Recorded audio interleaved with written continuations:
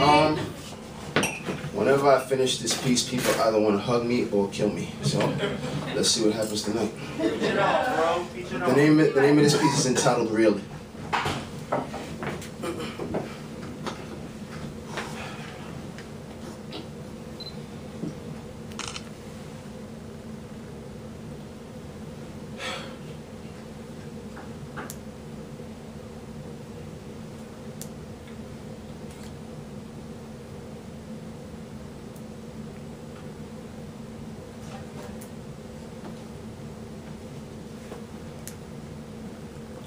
What?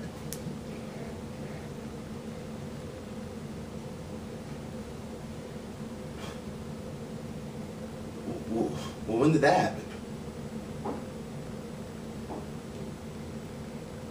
Oh.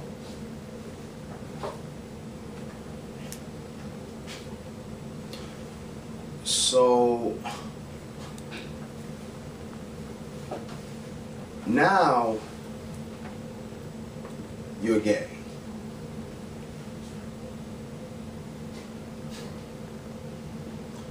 Really?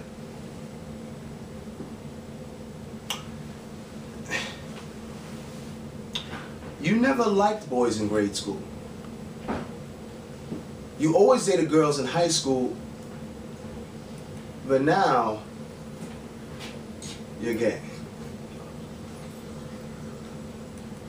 Really?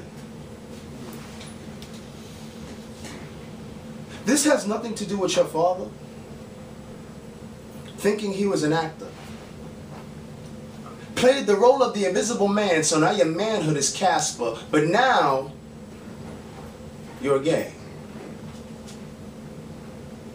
Really? This has nothing to do with your scared single mother forcing you to respect her. So instead of love, all you really did was fear her. But now, you're gay. Really? This has nothing to do with you getting punked in school. Bullies got the upper hand, low self-esteem got the best of you, but now you're gay. Really?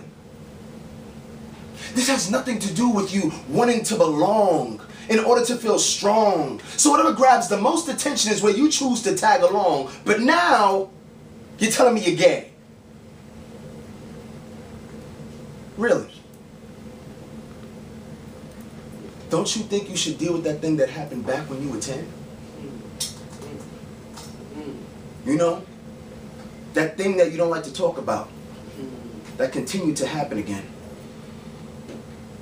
And I know your laundry list of bad relationships really didn't help out much. But don't you think the homosexuals who are born gay might take this as an insult? I mean, would James Baldwin not find no fault in you deciding on his lifestyle? I mean, orientation. I mean, would Alvin Ailey Jr. really find humor about you picking out his lifestyle? I mean, orientation. I mean, would Ma Rainey really find it funny about you giving a go to her lifestyle? I mean, orientation. I mean, with Bessie Smith welcome you out the closet How about you giving a try to her lifestyle? I mean, orientation. You know, this reminds me of the movie Blade. You're not a real vampire, you are merely dead. Feel society didn't bridge a gap with you, so that bridge you burned. Desperate to be different. Reality resisted. You're just trying to stand out. Okay, yes, you're living your life, but it's twisted. What about the homosexuals who are kicked out of their homes because they weren't born right? Cut off by their friends. Killed because they didn't pretend. Peer pressure turned suicide. Somewhere between pop culture and psychosis, you got caught all up in it. And look, man, we're always going to remain boys as long as our roots stay planted. But I'm sorry, man. I gotta do this. Um, excuse me. Uh, I- I'm sorry. I, I really don't want to interrupt everyone while they're eating, but I have to ask this question. At what point did going gay become equivalent with going vegan? Is it something that you do or is it what you really are? Is going gay a newfound hobby or modern day medicine for mental scars? At what point does a heterosexual wake up and say, starting from today, I'm gay?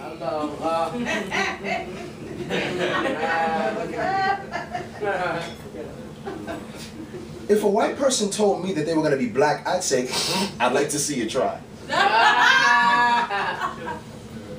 do your best. But due to melanin arrest, you're going to find yourself having one hell of a hard time. So why? When heteros jump fences, trespassing on orientations, I have as of yet to see flags waving from gays saying that they feel offended. If I were gay, and someone hetero I know opened up their mouths to say that starting from today, I'm gay.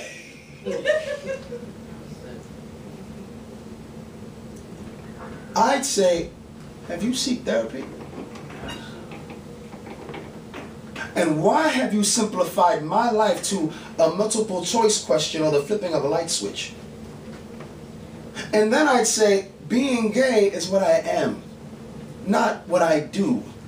And it's wrong of you to make me the answer for traumatic mental abuse.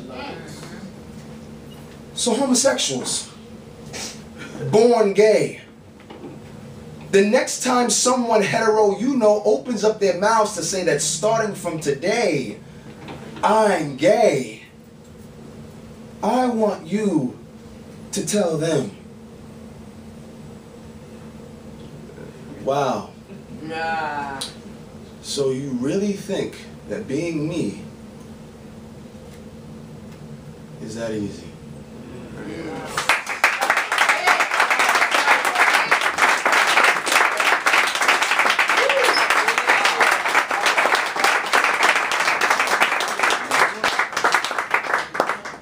by a round of applause, how many people know what they're looking for in a mate?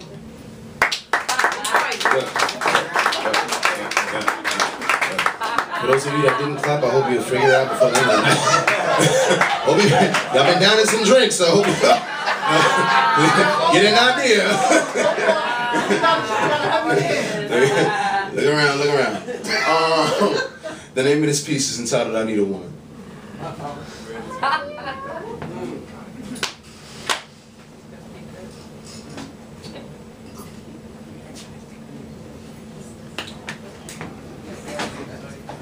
I need a woman. We'll talk. I need a Phylicia Rashad woman. Oh. A raisin in the sun. Cooking me polpeta and cursing me out in Spanish. I need a Sanaa Lathan woman. Made of brown sugar. No disappearing act, something new every day. I need a Diana Ross woman with mahogany vocal cords. Oscar-worthy talent with a diva-like demeanor. No need for the real McCoy. I'll settle for a close bootleg.